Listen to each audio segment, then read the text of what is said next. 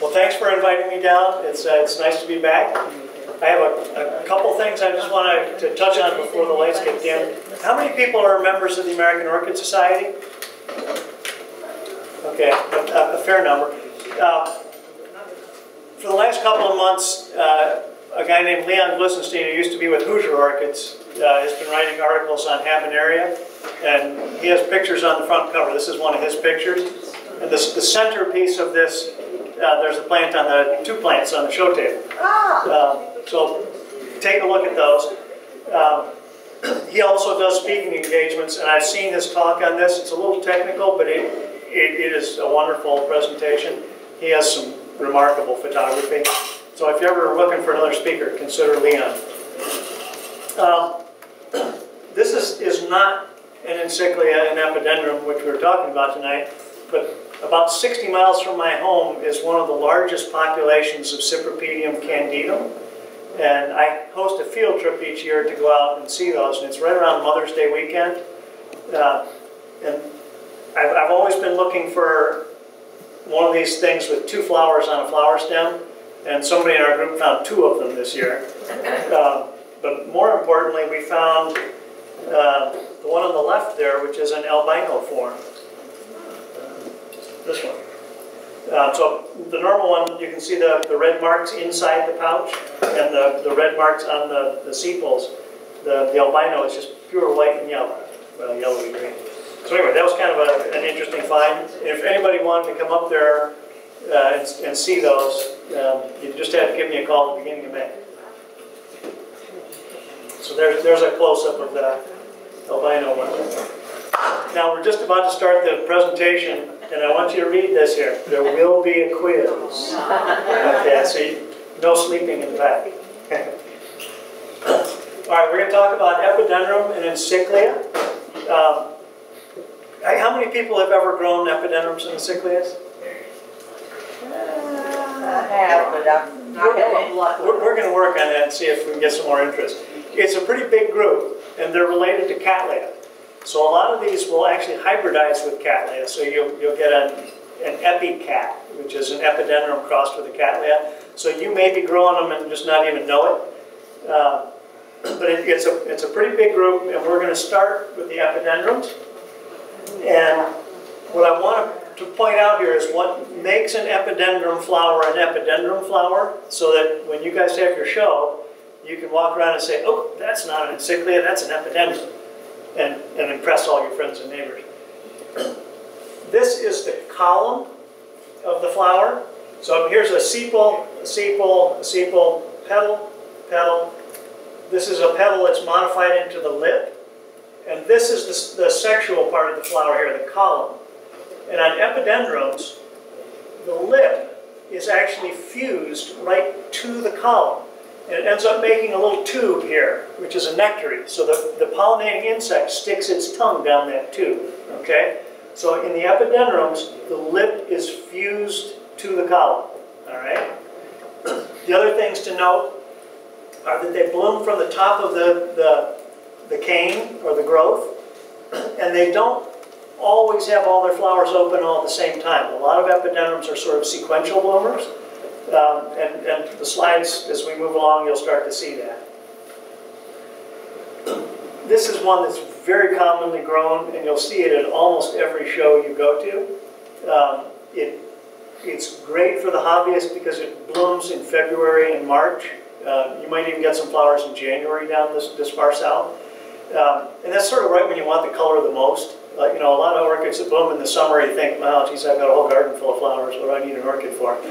Uh, but this guy blooms right in the middle of the, the late winter, early spring. it's Epidendrum centropetalum. It's also called, called centradenia, and the name switches back and forth. The first one I ever bought was an epidendrum. The second one I bought was an and uh, then now it's an epidendrum so just like everything else, they're constantly fooling you with the names. But one of the things that I want you to note here is this, this is one of what we call the reed stem epidendrums because it's a very thin stem, leaves that alternate up the stem, and then the blooms come from the tip of the stem, just like a cattleya blooms from the, the apex of the leaf. the epidendrums all bloom from the tip of the newest growth, okay? The other thing, you'll see that it has pretty big roots that are just like a cattleya, and like a cattleya, they want to have lots of air. So most of the epidendrums, you want to have them in, in potting mixes with good air, air movement in them, not in something that's real tight. The other thing with most of the reed stem epidendrums is they throw out cakey growths. Have I told you all why it's called cakey and not cakey? No. Oh, well, we, in- up in Cleveland, I, I'm in, I'm in five different orchid societies, but up in Cleveland, one of them, we have a, a displaced Hawaiian as a member. And I, I always call them kikis, and every time I would say kiki, he'd say, Edgar, it's keiki, I'm Hawaiian, I know. So, it's keiki. But these, these will often produce keikis from the reed stem itself, and that's sort of how these things propagate. If they don't get their flowers pollinated and make seed, they say, well, I'm going to reproduce vegetatively as well, and they form a big colony. This particular one, Epidendrum centradenia, is a great plant to grow as a mount, and if, if you can get a piece of tree fern fiber, uh, mount it on that, because you get the white roots on the black background of the tree fern fiber, the green leaves and the pink flowers, and it just makes a complete picture. And you, you tie it on very low on the totem of the tree fern, and then as these keikis start to produce, you just take a little pin and pin those back, and they will root down onto that, that mat. Uh, Do y'all know Russ Vernon? Yes. Uh, He has a really big, well, I don't know if he still has it, but he had a really big one of these that he got awarded, I think, two years ago up in Lansing. And it was, it was pushing bushel basket size. Wow. So it, it, it can be a really great plant.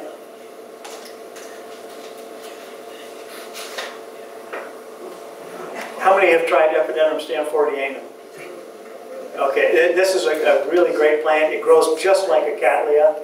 Um, It doesn't need quite as much light as a cattleya, but it's got these great flowers, and the flower stems are branching.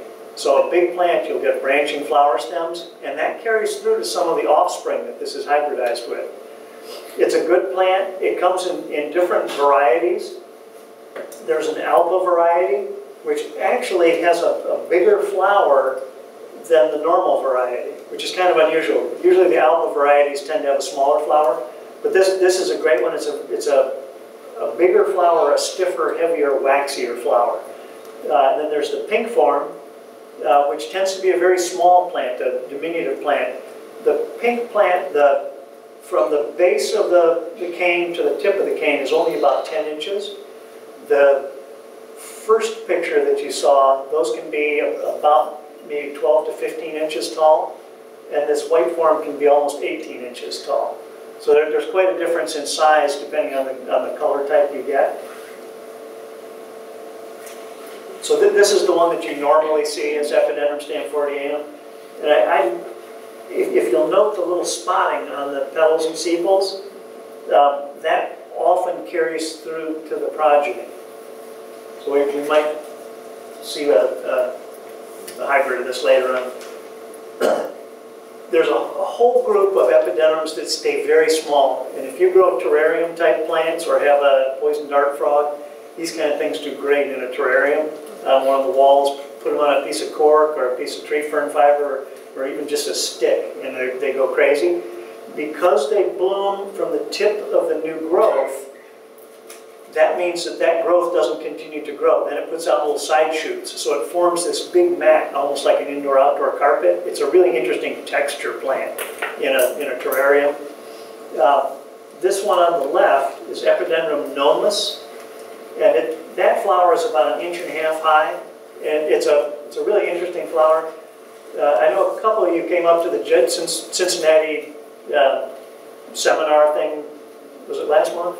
I think it was last month. Yeah, Wow. yeah. I took a big plant of this down there and, and got it awarded. It, it's pending identification, but knock on wood, it'll go right, but not all mine are, are properly identified. And this doesn't look quite like the Epidendrum nomus that you see in the literature. The other one here is, is Porpax. And Porpax is kind of interesting because the, the individual flowers look almost like a little beetle. Um, the, the lip is actually divided almost like the wing cases. of a beetle. And I I suspect it is actually an insect mimic. Um, And then this is an albiform of of the Porpax. And up on the left, is that, what does it say up there? I can't see it. Matthewsii. There, there's a, a bunch of them that look just like that. Matthewsii, Longirepens, um, and a couple others. And I have not been able to figure out what the distinctive characteristics are. Uh, there are some that produce two flowers at the end of the growth, some that only produce one. I suspect that's one of the characteristics. But again, it forms this neat mat that, that looks a whole lot like indoor outdoor carpet. Isn't that, isn't that wild? It would be great wallpaper, wouldn't it? Yeah. Screensaver. This, this is a plant that I, I first saw down in Ecuador back in 2007. Uh, not this particular one, the one I saw was growing on a rock. Uh, and it, I just loved the red flower to it, that, that rich color. And I, I tried to grow it several times, but unfortunately it, it comes from a higher elevation than, than my 1,100 feet. And so it, where we found that it was about 6,000 foot elevation and essentially 100% humidity all the time. So I, I couldn't match those characteristics, but I, I would like to see this hybridized with something else to try to get that red color into some other things. It, it forms a really nice plant. Ecuagenera has these for sale, and sometimes if you bump into them at a show, they'll have one. This is Epidendrum nocturne, and it's a an extremely variable species. The, the lip, which is the really white part here, um, can be a little bit different. And I suspect that there's actually, depending on what taxonomist you talk to, there might be dozens of different species involved here, but they're all called Epidendrum nocturne.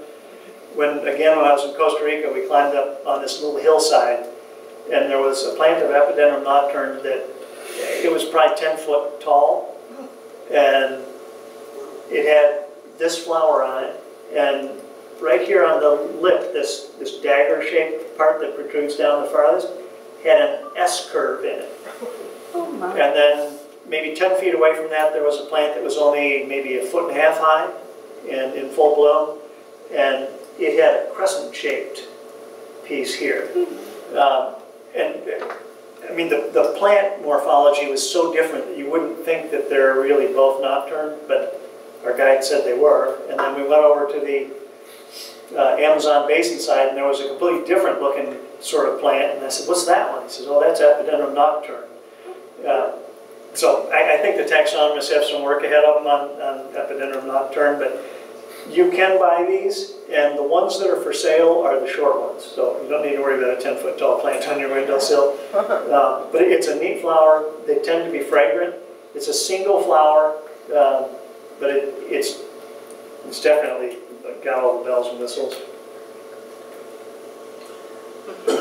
Into the reed stem epidendrums. um, The, the first one that I ever came across was Epidendrum radicans, and shortly after my wife and I got married, we went down to Costa Rica, and while we're driving up the side of a mountain to go up to Monteverde, there's a, a little Ford tractor on the side of the road, and he's mowing the, the ditch to, to keep the weeds and stuff out. And he's mowing down about an acre of this. And I'm thinking, no! Uh, but, you know, down there it's just a weed, and uh, so it would be like a dandelion to us. But Epidendrum radicans, and, and a lot of this group is actually a, a, a lantana mimic. So these are the epidendrum, and that's lantana. And lantana is pollinated by butterflies, and it's an accidental, we're gonna try to lure somebody in here accidentally and see if it'll get us pollinated. Um, So it- it's just sort of an interesting evolution in the orchid world.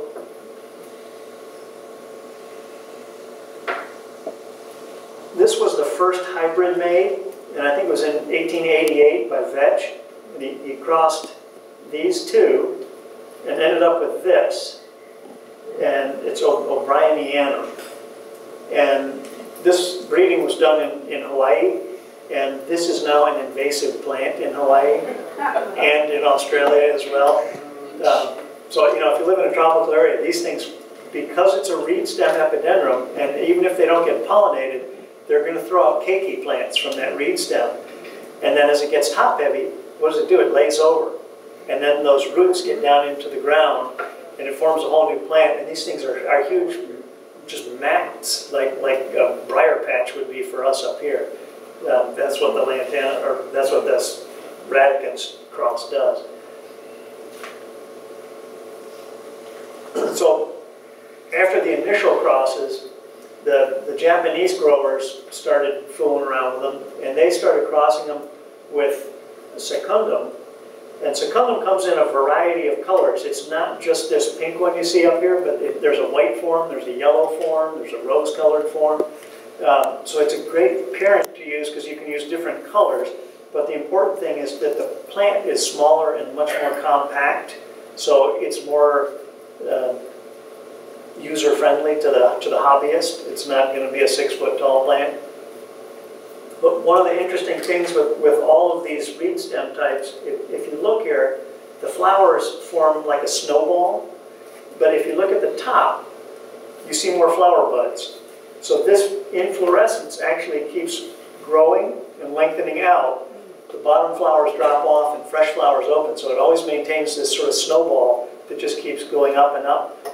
I had a radicans that got loose in my greenhouse, and when, when the flower stem got to be seven feet long, I cut it off. Okay, it was just like, okay, you've done your thing. Uh, well, he threw out a keiki up onto the rafter, and I, I've long since, since thrown the plant away, but I still have a keiki growing up on the rafter. Although I don't water it, it still blooms every year. Uh, so they're, they're, they're tough plants.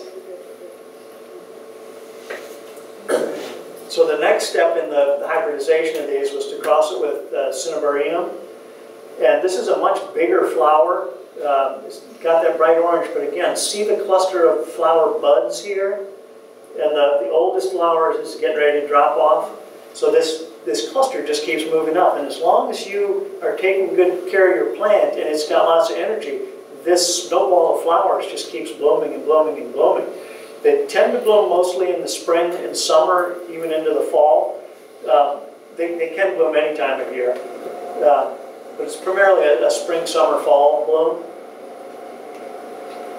So the, the main hybridizer of these now is Cal Orchids, and he's got a whole palette of colors on these, and he's, he's crossed them with the cinnabarinum to get a more upright plant and to get bigger flowers. And he's got ones that, if you see him at a show, I know Ruth saw him down in, in Florida this last May, and uh, I, I, think he said he, he, brought like 150 of these plants, and, and the first day he sold out.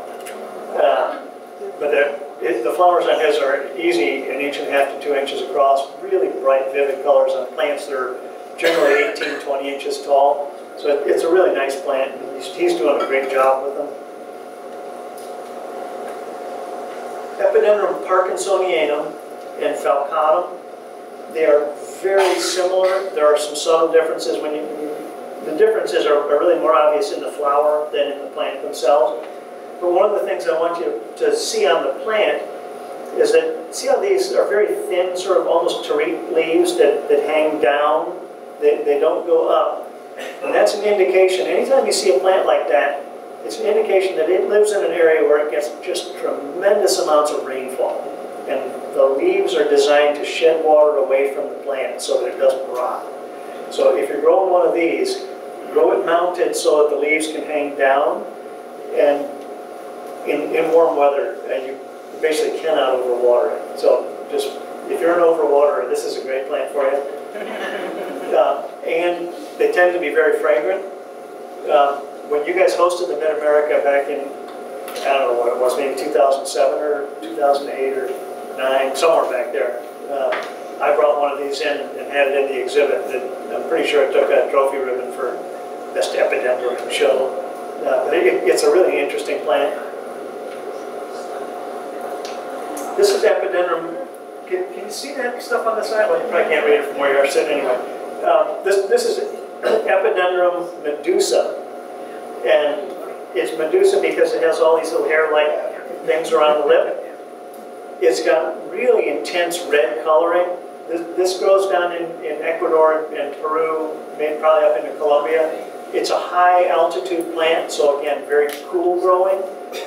I got a couple of these from a, a guy, uh, Orchideas Katia. Uh, he comes to Chicagoland. Um, and I, I want to say he's from Colombia, but I'm not sure on that. He might be from Peru. Um, but anyway, he, he brought me a couple of these, and I was planning on hybridizing with them. And no, that's, that's not it. Maybe I went too far.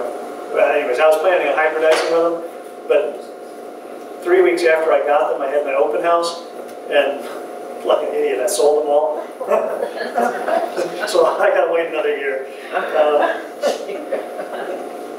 this is Epidendrum parkinsonianum.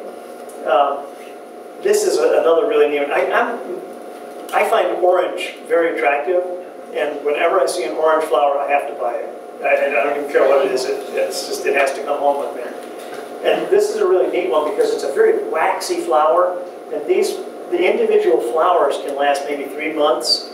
Uh, But overall, from start to finish, this, this plant can be in bloom for nearly a full year at a time.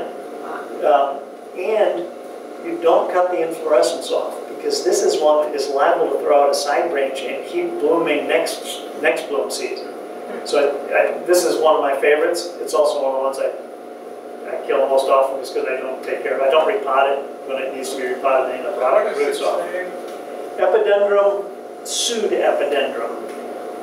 It, uh, they, they love to put funky names like that. This is a clone named uh, Rudolph, but it's got a, a pink column with a white anther cap, the orange lip, and the green petals and sepals. And notice that the, the petals and sepals really reflects back, so it, it, they go back behind the flower. It just, it just makes it very interesting.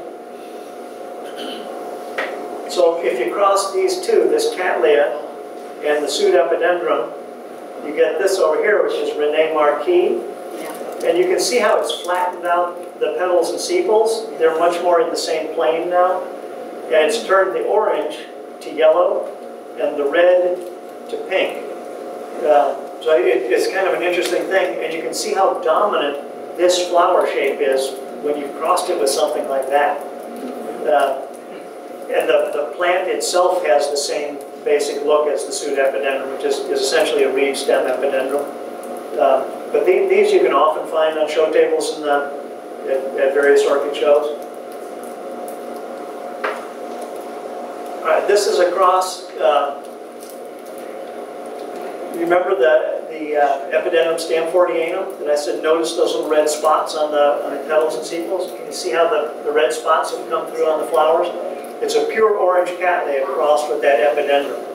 And, uh, these, I, I haven't seen them on the show table for a while. Uh, about 12 years ago, everybody had them on the show table. So another couple years, it'll probably be the latest new thing again. All, all these orchids tend to be cyclical. So if you wait long enough, they, somebody remakes the cross or reclones them. This is Epidendrum magnoliae. It's also often called conopseum, and it has a whole list of other synonyms. But it's the northernmost growing epiphyte in North America. I have a, a piece of this, not this plant, but this species that was off of a tree in North Carolina. Uh, so to have a, a tropical epiphyte growing on a tree as far north as North Carolina is, is this is really cold tolerant. And they've, they've been starting to use this in hybridization. One of the things, I- whenever you see a picture like this of a plant growing in the wild, take a good look at everything else around it. Uh, These ferns here are, uh, it's a resurrection fern, polypody is the, the common name, but this is growing on the top of a branch of an oak tree. You you know the live oaks that put these long horizontal branches out? So this is, is a branch on a live oak, and this is growing on top of the branch. And in between rainstorms, this gets very dry, and these ferns actually curl back up and just wait there for the next rainstorm, and then they unfurl again. And that, the epidendrum has a very tough leathery leaf, just like a cattleya. So it's very drought tolerant as well. Uh, Anyway, it's, it's a neat little plant. Sometimes you can find those on, on sales tables, but you're starting to see some hybrids. I know Steve Benjamin had some hybrids with this that was called I want to say it was called Green Hornet. There was this cross Oh, Pretzel yeah. and Adosa. Yeah. Um, So it's a, it's a nice little plant. And uh, I, I think you'll probably end up seeing more hybrids with this now that it's in cultivation. Um, Okay, this, this is Epidendrum medusa. And then this is Epidendrum porpax, the one that looks like a little beetle that forms that big carpet. This, this plant, the, the growth on the plant is maybe about four inches long and wants to hang down, whereas these growths want to just climb all over the trunk of a tree and form a big mat. When you cross the two, you get this, which is called Panama ruby. And it, it's a really nice flower and it's, it's quite variable. I've had ones that had the green spot in it and I've had ones that were solid red on the lip. Um, So you're starting to see some of those um, in the marketplace. But this is the cross that I wanted to make with my, hopefully Epidendrum nomus crossed with this. And uh, because this already has just a little bit of fimbriation on the lip, I'm just thinking that the two are sort of meant to go together. And it would make that, if, if you can get an offspring, the, the warm-loving nomus would make a broader temperature range tolerance. So you you might get some really interesting offspring out of that. I gotta wait another year. Okay, this, this is a commercial interruption, brought to you by Windswept in Time. We, we have two open houses every year, and the next one is gonna be November 3rd and 4th. Um, So mark your calendars, and if you can make your trip all the way up to Cleveland to see the Rock and Roll Hall of Fame, uh, you can stop at my place if you need orchid supplies. Wayne Roberts from Roberts Flower Supply is about uh, 20 miles away from me. Uh, But there's lots to do up in Cleveland. Uh, But most importantly, there's orchids. Okay, so now we're into the encyclia. I, I'm gonna take a step back. Remember what makes an epidendrum an epidendrum is that the lip is fused to the column, right? So it forms a little tube that the insect puts its, its proboscis down. Okay, so now we're in encyclia, and encyclias have a different sort of a uh, look to them. They still bloom from the top of the pseudobulb, uh, but the lip is different in that it's not completely fused to the column, it encircles the column, okay? So it doesn't, it, it forms sort of a tube, but it's not a, a straw-shaped tube, it's open on the sides, okay? So the plant itself, you will see pseudobulbs like this. They tend to be sort of uh, egg-shaped but pointy at the top, with usually a pair of leaves at the top. Uh, Very stiff, sort of leathery leaves, kind of like a, somewhere between a cymbidium and a cattleya. The, the roots are just like cattleya roots, and they really want to be out in the open. So you can see the inflorescence arises right from the uh, the tip of the pseudobulbs, where all the leaves meet the pseudobulb, the inflorescence comes out. Most of these have branching inflorescence.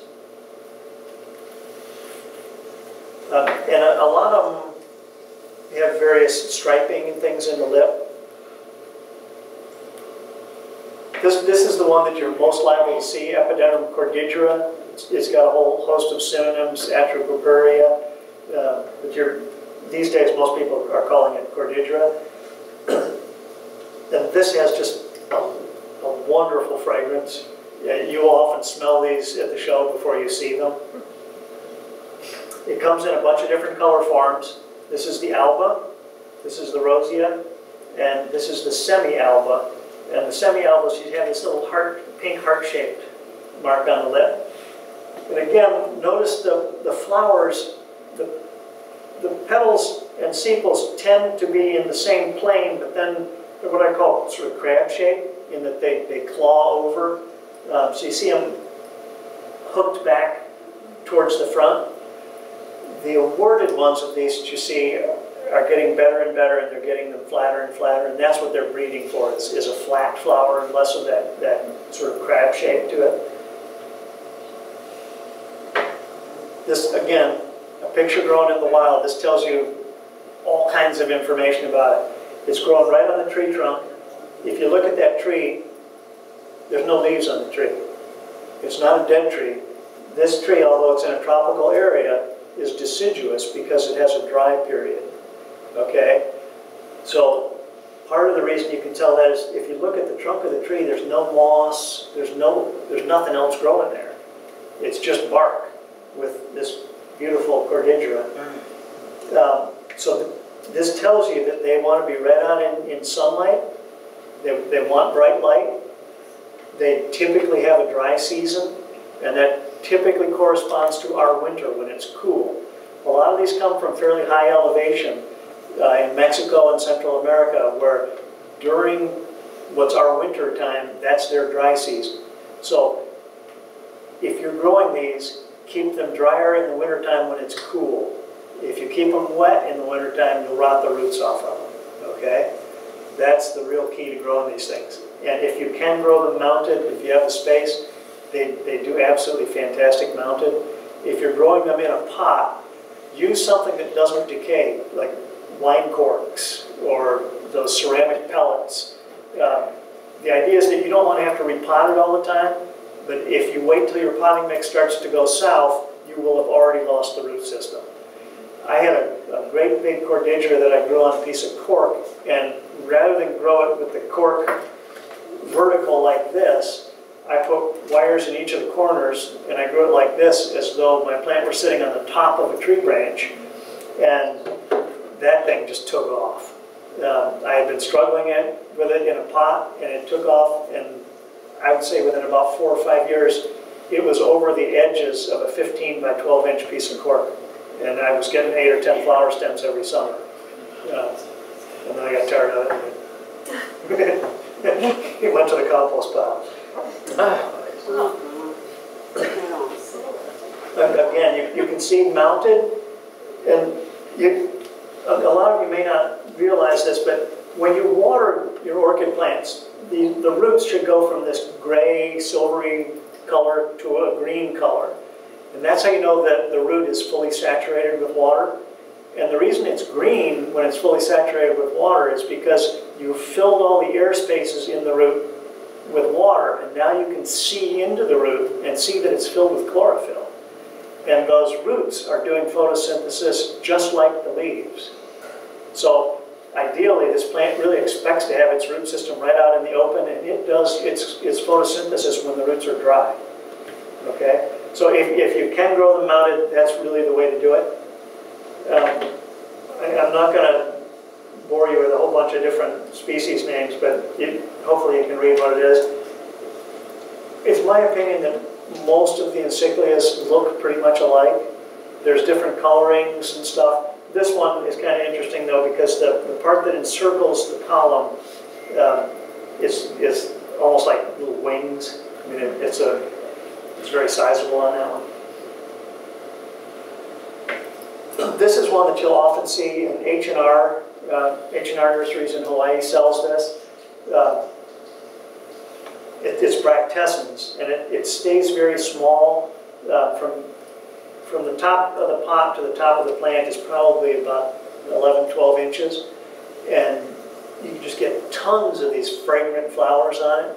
And this is used a lot in hybridization to keep the plants small and lots and lots of flowers and easy to grow.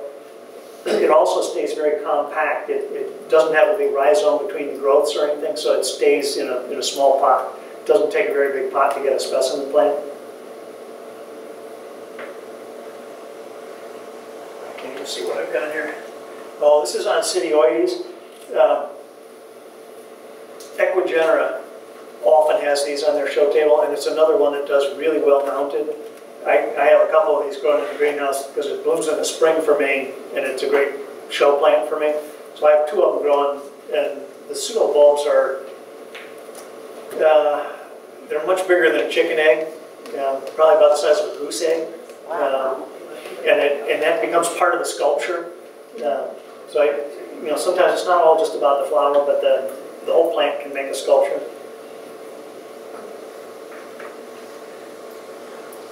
This is one of the smallest of the encyclias. This is uh, Encyclia polybulbon. The, the flowers are about an inch tall, and the growth is maybe an inch and a half long. It blooms in the wintertime. This is a, a species that comes from Mexico, again, where it has a dry rest period in the wintertime. So again, if you give it a little bit of a dry period during our cold period, it blooms during show season. then it, it's really neat because again, it forms this big mat, uh, almost like an indoor-outdoor carpeting. And they're starting to use this in hybridization.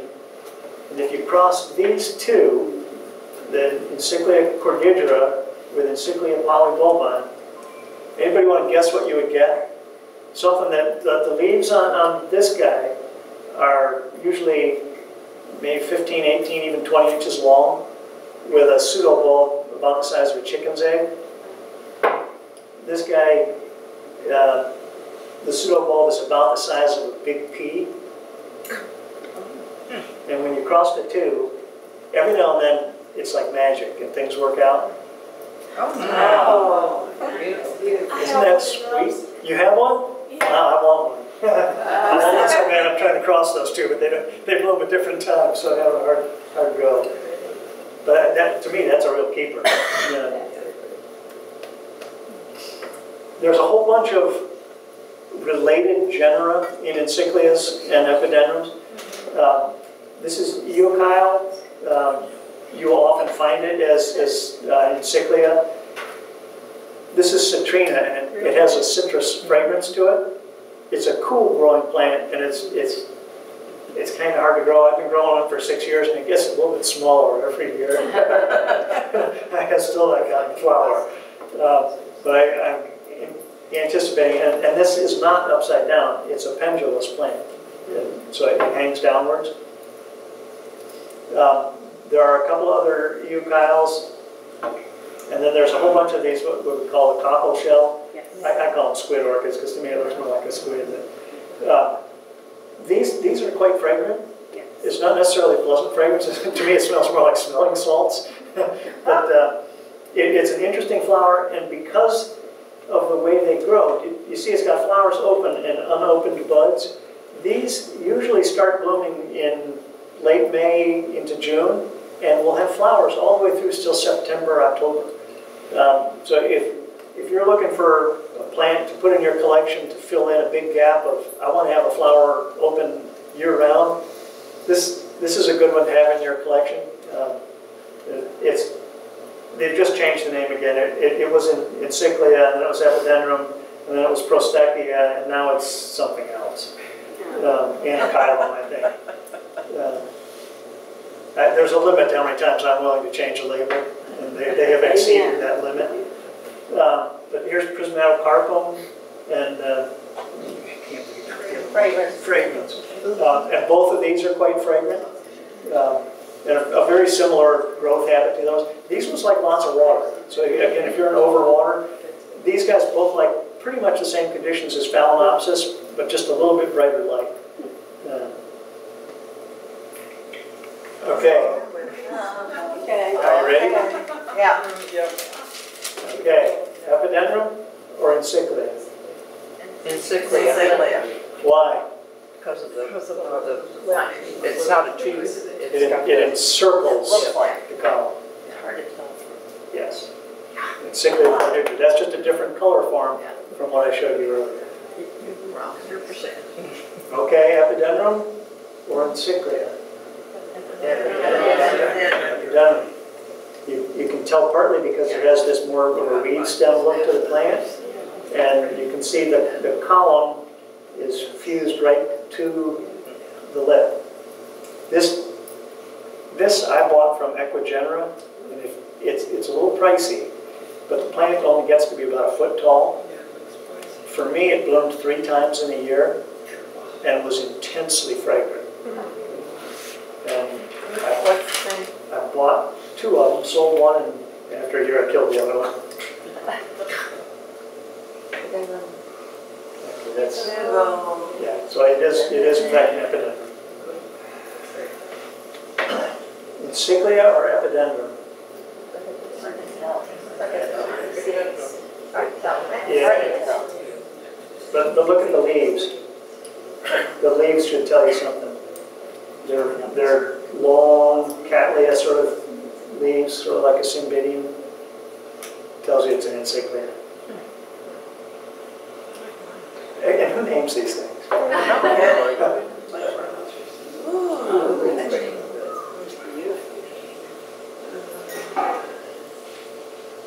I got you stumped on that one. Who, who said that? Well said. It is an angraecum. It's one of, the- of the few angraecums with color. Uh, that's, that's viguieri. And, uh, the, the reason you can tell it's an angraecum is in part because it blooms from between leaves. It's got a long nectary tube on the back of it, which you can't really see in that picture. Uh, But also, it's got a really stubby little column. Uh, So, that's it. I want to talk just a about culture. Um, All of these like fairly bright light. Um, You can grow them in less light, but they'll bloom better with brighter light.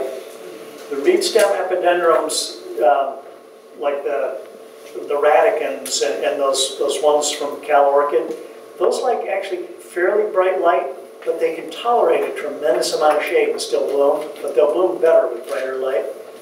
Also, it's been my experience that plants that are grown in very bright light tend to be shorter. And plants that are grown in shade tend to be bigger because they're, they're looking to capture a certain amount of energy. And if they can't get it with short little stubby leaves and bright light, they're gonna have great big long leaves in the shade. So they, they tend to be bigger if you're growing them shady, but they will still bloom. Um, Most of the epidendrums evenly moist all spring and summer and fertilize pretty heavily because that's their growing season. In the fall, when, when our growing areas are cooler, you can keep them a little bit drier, but they still need water. Uh, Almost all of these are going to be evergreen, so they, they should not be dropping their leaves. If they're dropping their leaves on, you know, year-old growth, there, there's, a, there's an issue. Uh, They should hold their leaves for a couple of years. The, the same with the encyclias. Those should hold their leaves for four or five years. Um, And the encyclia bulb is very much like the pseudobulb on a cattleya, that if you see that start to wrinkle up, you know there's an issue that either you're losing your roots and it's not able to replenish the water, or you're not watering it enough, or it's doing something like blooming and growing at the same time and it's using up all its stored water. So a lot of times just looking at the, the stem of the plants will tell you if, if your watering is okay. If you can, plant them in potting mixes that don't break down quickly because both of these, you're watering really heavily all spring and summer, and your potting mix can, can go south pretty fast.